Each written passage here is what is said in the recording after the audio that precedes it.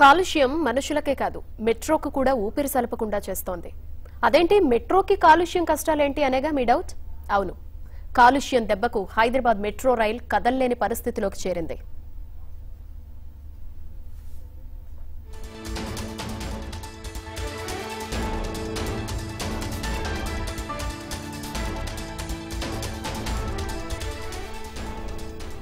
Metro రైల్తో హైదరాబాద్లో కాలుష్యం తీవ్రత తగ్గుతుంది అనుకుంటే ఏకంగా రైళ్ళకే ఆటంకంగా మారుతోంది నగర కాలుష్యం. ఉప్పల్ నాగోల్ ప్రాంతాల్లో కొన్ని రకాల పరిశ్రమల నుంచి వెలువడే ఉద్గారాలు చెత్త డంపింగ్ యార్డు నుంచి వెలువడే గాఢ వాయువులు మెట్రో రైళ్ళలో సున్నితమైన కంప్యూటర్ భాగాల్ని దెబ్బతీస్తున్నాయి. దీంతో తరచూ సాంకేతిక సమస్యలు ఏర్పడుతూ మెట్రో బండికి బ్రేక్ పడుతోంది.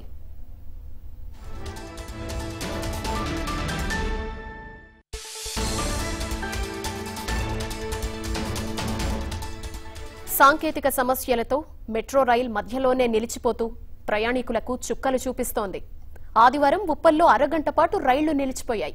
కాలుష్యం కాటుతో ఎటూ కదల్లేని పరిస్థితి. ఈ ప్రభావం ఇతర మార్గాల్లో రైళ్ళ రాకపోకలపైన పడింది. చివరకు ప్రయాణికులకు టికెట్ డబ్బులు వాపస్ చేయాల్సొచ్చింది.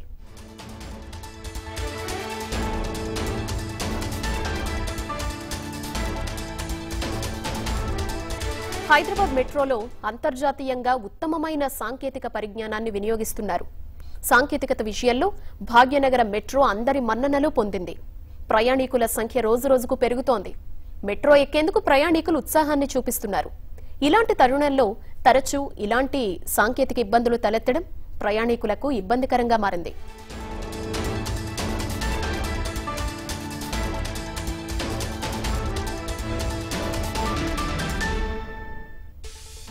ఇటీవలే కుకట్పల్లిలో ఎలక్ట్రికల్ లైన్పై ఫ్లెక్సీ పడటంతో రైళ్ళ రాకపోకలకు తీవ్ర అంతరాయం ఏర్పడింది.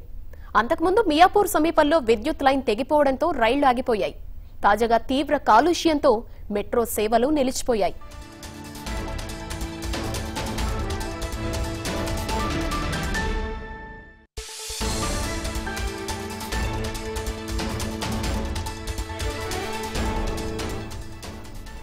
నాగో లుప్పల్ ప్రాంతాల్లో బ్యాటరీ పరిశ్రమలు ఎక్కువగా ఉన్నాయి.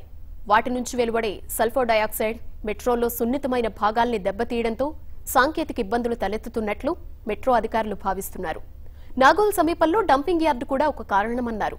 కాలుష్యం బారిన పడకుండా సున్నిత భాగాలకు కొన్ని రకాల రసాయనాలతో ప్రత్యేక పూత వేస్తున్నట్లు అధికారులు చెబుతున్నారు.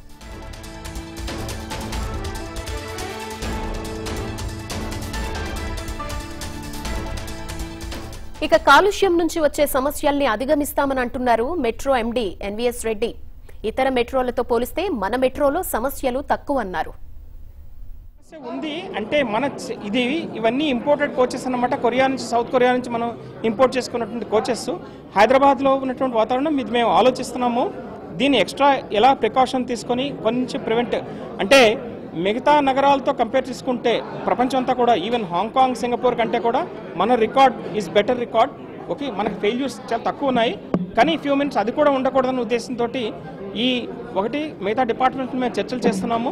తర్వాత రెండవది ఆ పొల్యూషన్ కూడా మనం తట్టుకునే విధంగా ఏ విధంగా ఎక్స్ట్రా జింక్ కోటింగ్ మిగతా కోటింగ్స్ ఇచ్చి తీసుకోవాలని మేము ఆల్రెడీ ఆ వర్క్ స్టార్ట్ చేయడం అనమాట అది. సో ఇంతవరకు లక్కీగా మనకి ఏంటంటే మేజర్ బ్రేక్ డౌన్ అయితే జరగలేదు.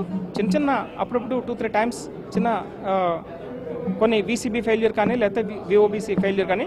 ఎందుకంటే ఇవన్నీ కూడా ఎలక్ట్రానిక్ ఎక్విప్మెంట్ చాలా సున్నితమైన ఎక్విప్మెంట్ అనమాట సో దానికి మేము చర్యలు తీసుకుంటున్నాం. హైటెక్ సిటీ సెగ్మెంట్ డెఫినెట్గా ఈ సంవత్సరాంతానికి డిసెంబర్ నెలాఖరికి ట్రై చేసి మేము ప్రారంభించడానికి అన్ని ప్రయత్నాలు చేస్తున్నాము.